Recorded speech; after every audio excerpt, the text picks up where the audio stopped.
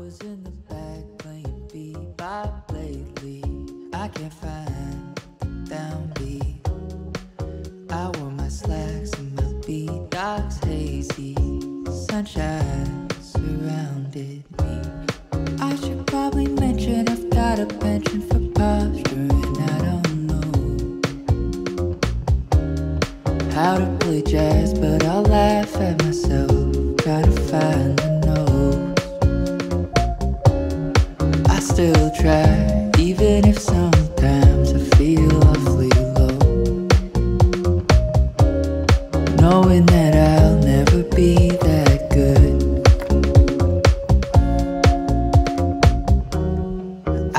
stuck in class counting seconds. Heaven's sake, it's way too long.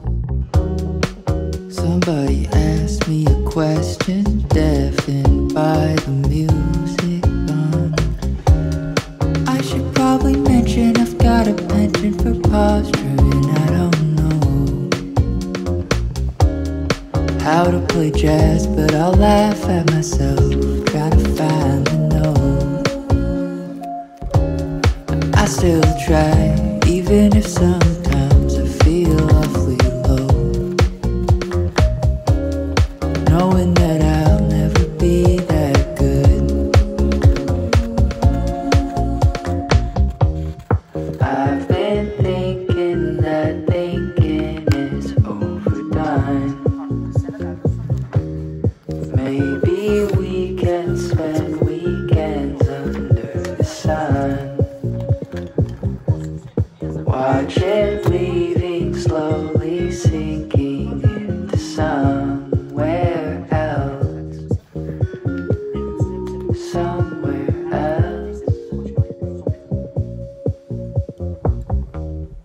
I was in the back playing bebop lately. I can find the downbeat.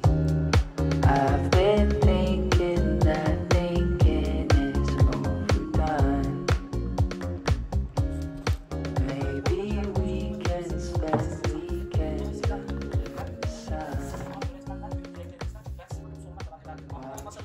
Ee, trigonometriyi 3 gün sonra bitirmeyi düşünüyorum. Şunu bitirmiştim. Ee, şunu da fasikülleri çözeceğim. Videosunu izledim. Bugün bunu bitireceğim. Diğer günlerde de şunları bitirdikten sonra 3 gün içinde trigonometriyi bitireceğim. Kendime böyle bir AYT bitirme programı hazırlamak istiyorum. Artık AYT matematik konularını çok hızlı bir şekilde bitirmek ve sadece AYT çalışmak istiyorum. Ee, Bununla ilgili bir program yapmak istiyorum. Eğer çok e, ayrıntılı ve güzel bir şekilde yaparsam paylaşmayı düşünüyorum eğer siz de isterseniz. Bugün yarım açıyı bitireceğim. Yarın bunu bitiririm. Sonraki gün bunu, sonra bunu. Karma testleri de e, hemen bitirmiyorum açıkçası testlerimi. Çünkü hemen bitirdikten sonra ileriki zamanlarda testim kalmıyor ve ben o konuyu unutmuş olurum. O yüzden haftalara yaya yaya testleri çözüyorum ki ben bu trigonometri konusunu unutmayayım. Geçen sene bu hataya çok fazla düştüm. Mesela polinom konusunu bitirdim. Gittim e, 3-4-5'teki mesela bütün polinom testlerini bitirdim. Sonra 2 ay boyunca hiç polinom çözmedim. Yani şimdi onun hiçbir anlamı kalmadı. Çünkü ben o konuyu zaten unuttum. O yüzden böyle bir hataya düşmeyeceğim. Bu karma testlerin hepsini haftada mesela bir test, iki test olarak ya tabii diğer kaynaklardan da ilerleyeceğim için bir test, iki test olarak bitirmeyi düşünüyorum. Neyse bu şekilde işte.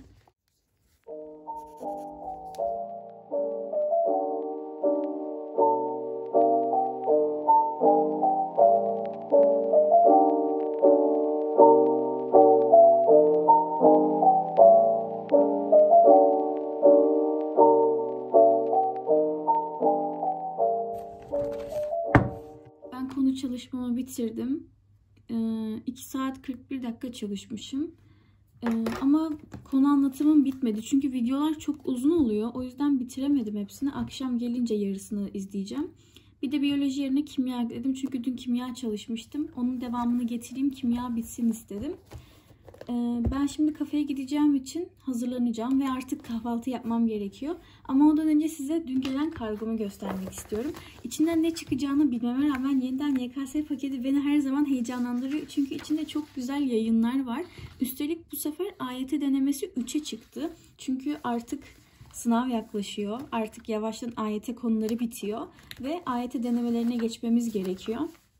Açıkçası bunu söylemekten hiç hoşlanmıyorum ama sadece bir tane AYT denemesi yaptım kendime. Çünkü sürekli kaçıyorum. O yüzden bu sefer 3 tane AYT denemesi olması çok iyi olmuş. Şimdi artık istemesem de çözmek zorundayım ki çözmemiz de gerekiyor. Konularımız eksik olmasına rağmen AYT denemelerini çözmemiz gerekiyor. Beni LGS'ye hazırlanan öğrencilerin takip ettiğini de biliyorum. Yorumlarda hep görüyorum. Aynı zamanda sizler için de böyle bir deneme paketi bulunuyor. Ben yine bunların hepsini açıklamaya linki bırakacağım. İsterseniz inceleyebilirsiniz. Eğer bu paketi almak isterseniz şu an dediğim gibi e, hepsi e, şey sürecinde. Başvuru sürecinde evet. İsterseniz bakabilirsiniz. Ben zaten bir önceki videomda da diğer videolarımda da bahsetmiştim nasıl işlediğiyle ilgili. Bu şekilde ben şimdi artık kahvaltı yapayım. Daha sonrasında e, hazırlanıp çıkacağım. You are gonna feel bad. I want you to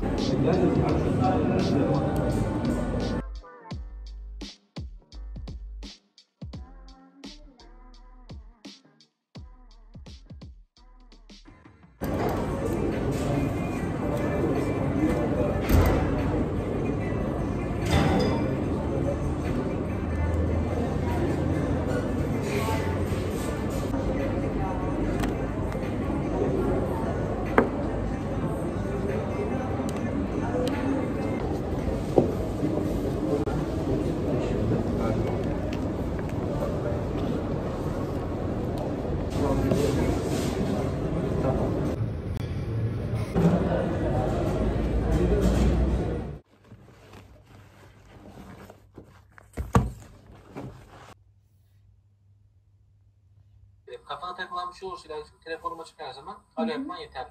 Tamam hocam teşekkür ederim. Kendine çok iyi bak. Siz de hocam görüşürüz.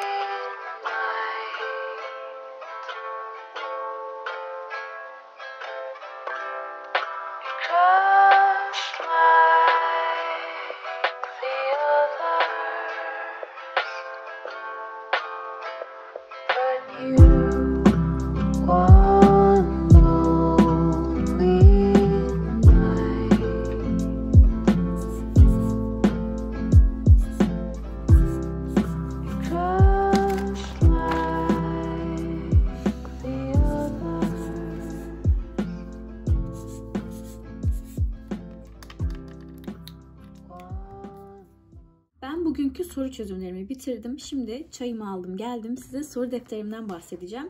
Ee, size konuşmamı istediğiniz, merak ettiğiniz şeyleri sorduğumda çok fazla soru defteri hakkında soru aldım. O yüzden birazcık soru defterimden bahsetmek istiyorum. Ee, bu arada toplam 8 saat çalıştım. O yüzden e, birazcık yoruldum. O yüzden saçma konuşursam kusura bakmayın. Şöyle ki bu soruların çoğu deneme analizlerinden geliyor. Yani çoğu deneme soruları. Ee, soru bankalarından çok fazla soru almıyorum açıkçası. Şöyle sorularımı seçerken neye dikkat ettiğimden bahsetmek istiyorum öncelikle. Çünkü her soruyu almak bence çok e, vakit kaybı ve hatalı bir davranış olduğunu düşünüyorum. Ben mesela nasıl e, soruları aldığımdan bahsedeceğim. Mesela şurada bir yığın soru var. Bunlardan örnek vereceğim. Mesela bunları sürekli karıştırıyorum. O yüzden bunu aldım. Daha sonra bu garip e, değil de bunu hiç e, aklıma gelmemişti mesela. Burada çığ olduğu aklıma gelmezdi. O yüzden bunu aldım. Daha sonra karıştırdığım soru tipi, e, hep hata yaptığım soru tipi, e, çözümüne şaşırdığım soru tipi, çok saçma bulduğum bir soru tipi. Hani böyle e, sıradan bir soru olması gerekiyor onu almam için. Yoksa soru defterinin bir önemi kalmaz. Mesela bakın e, burada gerçek artış ve doğal artış sürekli karıştırdığım için aynı zamanda yanına da şöyle bir not düşüyorum. Aynı zamanda bu bir tekrar defteri niyetinde. Çünkü sadece soru defteri olarak kullanmıyorum. Aynı zamanda bakın e, dinde akımları anlatmışım. Yine burada kavramları açıklamışım. Aynı bir tekrar defteri gibi. Hem soru hem tekrar defteri. Burada yine boğazları açıklamışım. Şuraya küçük bir bilgi kutucuğu falan. Yani geceleri yatmadan önce bir kez baksam yetiyor zaten. Her gün her gün açıp buna bakacak halim yok. Bir de soru defteri hakkında çok fazla şey sorusu geliyor. E, çok zaman kaybı, kes, yapıştır, et falan diye. Ama açıkçası ben öyle görmüyorum. Bunu e, yönetebilmek çok önemli. Mesela ben nasıl yapıyorum bundan bahsedeyim. Benim soru defteri günüm var. Pazar günleri yargı izlerken soru defterimi dolduruyorum. Benim molam pazar günleri 2-3 saat boyunca yargı izliyorum. Ve onu yap izlerken de soru defterimi dolduruyorum. Bana çok güzel bir mola olmuş oluyor. Çünkü ben soruları kesmeyi, yapıştırmayı falan çok seviyorum. Hem tekrar yapmış oluyorum hem de mola vermiş oluyorum. Ee, ama bu videoyu ne zaman izlediğiniz de önemli. Şimdi sınava 3-4 ay kala da soru defteri yapmak bence çok fazla mantıklı değil. Ama eğer uzun bir süreniz varsa yapabilirsiniz. Bence yapması çok keyifli ve faydalı olduğunu düşünüyorum. Şu an birazcık üstün körü gibi geçmiş olabilirim. Ee, birkaç ay daha kullandıktan sonra soru defterini e, daha ayrıntılı bir video çekme e, çekebilirim eğer siz de isterseniz.